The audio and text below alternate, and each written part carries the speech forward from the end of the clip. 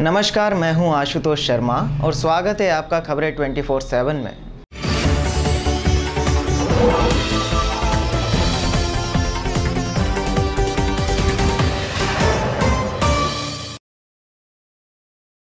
सरदारपुर तहसील के राजगढ़ नगर के एक युवक ने अपने हुनर से मध्य प्रदेश ही नहीं, बल्कि पूरे भारत में अपना नाम रोशन किया है।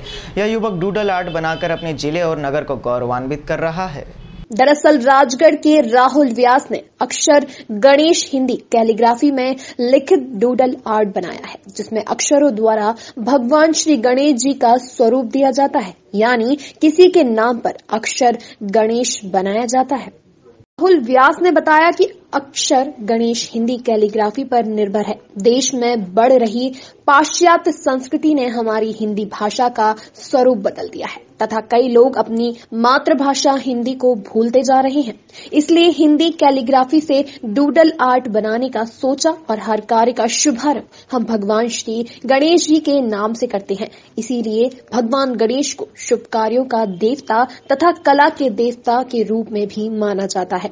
इसीलिए हिंदी भाषा को महत्व दिलाने के लिए राहुल ने गणेश जी के साथ डूडल आर्ट बनाने का सोचा। अक्षर गणेश एक ऐसी कला है जो हिंदी कैलीग्राफी को लेकर बनाई गई है। आ, मेरे विचार आया मेरे मन में एक विचार आया था कुछ समय पहले कि हिंदी भाषा जिस तरह से विलुप्त होती जा रही पाश्चात्य संस्कृति को हम अपनाते जा रहे हैं तो मैंने एक चीज़ सोची कि क्यों ना हिंदी भाषा को बढ़ाया जाए। हिंदी भाषा जिस तरह से हमारे देश की राष्ट्रभाषा है तो उसे बढ़ाने के लिए मैंने हिंदी कैलीग्राफी में आर्ट करना स्टार्ट किया।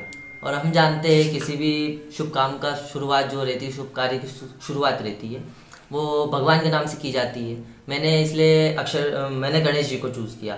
और गणेश जी के साथ हर आर्ट को करना एक तरह से बहुत पॉसिबिलिटी रही। उससे करने में बहुत एक आनंद आया उत्साह आया और बहुत पॉपुलरिटी भी मुझे उससे मिली। आ, पहले इस आपकी जो कला है आपने पहले कहाँ कहाँ पर इसका प्रदर्शन किया है और कैसा इसका रिस्पॉन्स आपको मिला? है मेरा सबसे पहला प्रदर्शन हुआ था चित्तौड़गढ़, राजस्थान में। एक कार्यक्रम था। उस कार्यक्रम में मैंने इसकी प्रस्तुति दी थी। वहाँ से मुझे बहुत सराहना मिली। उसके बाद दिल्ली इसके अलावा गाज़ियाबाद, बहुत सारी जगह पे प्रोग्राम होते रहे।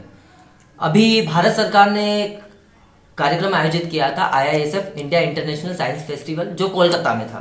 कोलकाता में भारत सरकार द्वारा Indian crafts and artisan and meet और उसके अंदर मेरी प्रदर्शनी थी।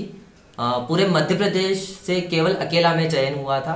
पूरे भारत के तीस आर्टिस्ट बुलाए गए थे और विदेश के दो थे इंटरनेशनल लेवल का प्रोग्राम था। बहुत ही अच्छा रहा जिसमें बहुत सारे मंत्री आए सभी ने सराहना की और आर्ट को बहुत अच्छा लगा। इस आर्ट को आप अब कहाँ पर प्रदर्शन करने वाले हैं आने वाले समय में कई प्रोग्राम्स हैं जैसे जनवरी में Jaipur international art and calligraphy festival है।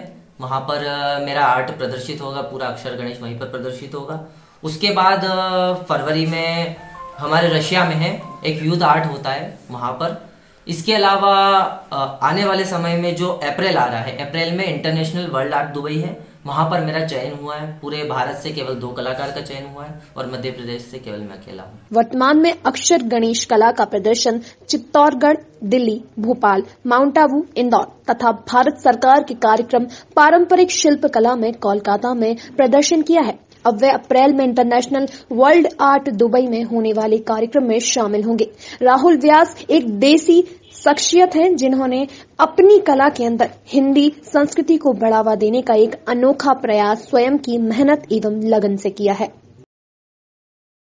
तो ये थी हमारी खास पेशकश। बने रहिए खबरें 24/7 के साथ।